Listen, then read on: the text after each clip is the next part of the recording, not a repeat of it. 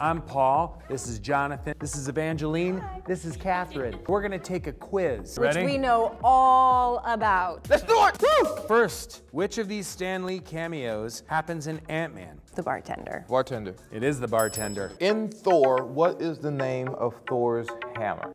That sounds familiar.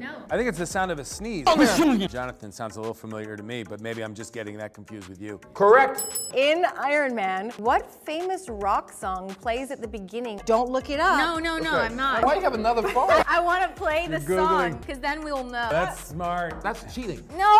Metallica. Puppet. ACDC. In Avengers Endgame, what food is Scott Lang trying to eat? It's a taco, right? Steve, we're gonna go with taco. Good answer, good answer. Ding, ding, ding, ding. Which of these Peter Parkers is nicknamed Peter 3? Tom Holland. Yeah. Yeah, yeah. He's supposed to be a conqueror, not a loser. We're never gonna hang out again after this.